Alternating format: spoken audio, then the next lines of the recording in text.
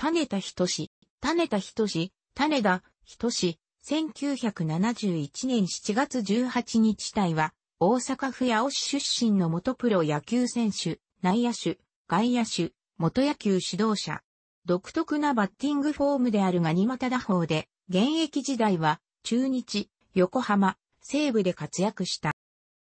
山上烈監督の上宮高校で1年からベンチ入りし、出場2年時の選抜では、高島徹や真中光を要する強力打線の宇都宮学園に敗れベスト8、3年時の選抜では、決勝に進出。後に、チームメイトとなる山田菊を要する東方を相手に10回裏、優勝まで、あと1死まで迫りながら、自らの悪送球、記録上は、右翼手のエラーにより逆転、サヨナラ家を喫して、準優勝。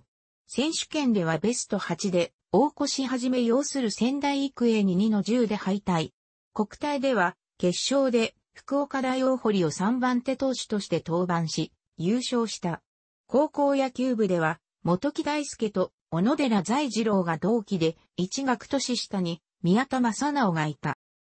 1989年度ドラフト会議にて、中日ドラゴンズから6位指名を受け、専修大学進学内定を辞退して入団。開指名ではあったが、推定契約金は上位指名選手並みの4、0円で、背番号は1桁の例を与えられるなど、高く評価されていた。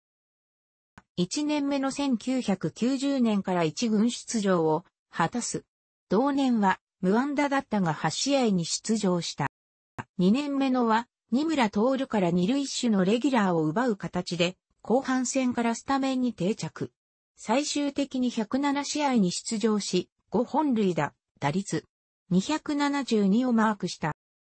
この年から就任した高木森道監督の現役時代の背番号1を与えられる。肩に不安を抱えていた遊撃手の立浪和義と交代する形で二塁手から遊撃手へとコンバートされた。この年は前年を下回る成績だったが102試合に出場した。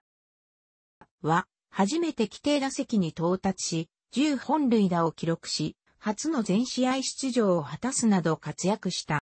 は怪我などの影響で不調に陥り、41試合出場に終わる。10.8決戦では出場機会がなかった。に復調する者の同い年の鳥越祐介の加入もあり、89試合の出場に終わった。遊撃手のレギュラーを鳥越に奪われ40試合の出場に終わった。はさらに少ない8試合の出場に終わった。その年のオフに、プロ野球脱税事件に関与。脱税額が少なかったため基礎猶予処分となり、翌は前年の脱税事件の影響で開幕から3週間の出場停止処分を受けた。この年、背番号も翌年入団する福留康介に一応用意するため49に変更。阪神から移籍してきた久慈照義の活躍もあり、打率は280であったものの43試合の出場に終わった。モチームはリーグ優勝を果たしたものの43試合の出場に止まった。だが、翌年にガニ股打法、口述三章を開発し、代打で11打席連続出塁という日本記録を樹立する。規定打席には満たなかったものの102試合に出場して、打率314、7本塁打、31打点を記録して、カムバック賞を受賞した。は、開幕から8試合に出場した後、4月に春年代との交換トレードで山田博士と共に横浜ベイスターズへ移籍。バイプレイヤー的な存在の内野手と先発中継ぎの両方ができる投手を求めていた横の森正明監督が中日の星野千一監督に無理を承知で直談判し、異例のシーズン中の同一、リーグトレードが実現した。移籍後の2001年は98試合に出場し、打率278を記録、ユーティリティプレイヤーとして重用された。同年は中日時代と合わせ106試合に出場した。は前年より打率を下げたが、1993年以来9年ぶりとなる規定打席到達100安打をマークした。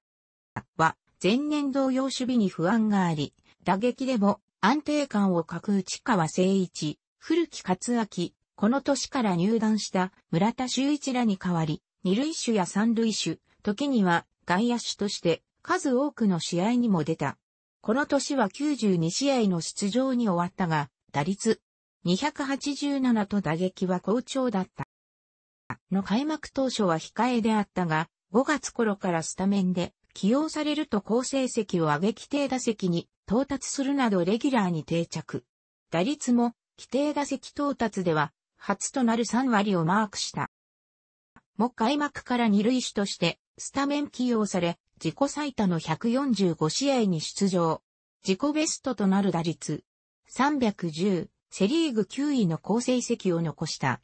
このシーズンは1試合の欠場があったが、これはアウトの判定に大激怒して、球審の上本光一に体当たりした上突き飛ばしたために退場宣告及び出場停止処分を受けたもの。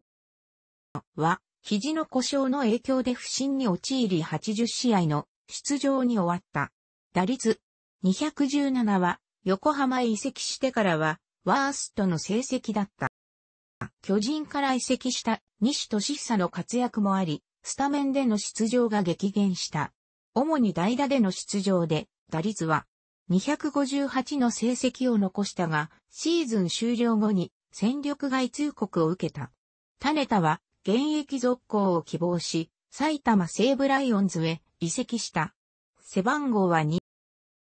は1軍の内野陣は、この年本塁打王に輝いた中村剛成や中島博之、片岡駅士、控えでも日本シリーズで活躍した平尾博次や石井義人など選手層の厚さに阻まれて1軍出場なしに終わった。2軍では78試合に出場したものの10月1日に西部から2度目の戦力外通告を受けた。その後、12球団合同トライアウトに参加したが、獲得する球団はなく、現役を引退した。12月2日に自由契約公示された。2009年は芸能事務所、ホリプロに所属しテレビやラジオ、東京中日スポーツ、テレビ愛知を中心に野球解説者として、またタレントとしても活動した。は、韓国プロ野球のサムスンライオンズ打撃コーチを務め、同年11月に東北楽天ゴールデンイーグルス、2軍内野守備走塁コーチに就任した。2011年5月15日、1軍内野守備コーチに移動。2012年は2軍内野守備走塁コーチに復帰する予定だったが、同年1月に種田本人の申し出により退団した。2015年6月、自己破産をしていたことが報道された。